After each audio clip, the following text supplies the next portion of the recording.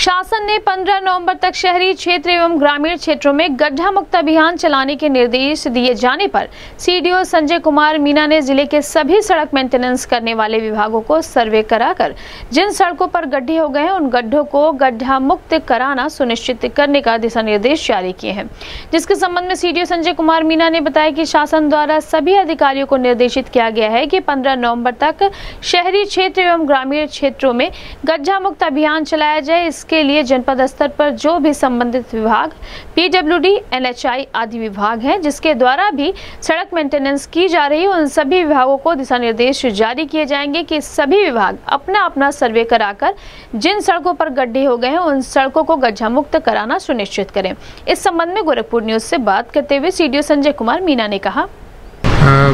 माननीय मुख्यमंत्री जी द्वारा पूरे प्रदेश में एक अभियान चलाया गया है।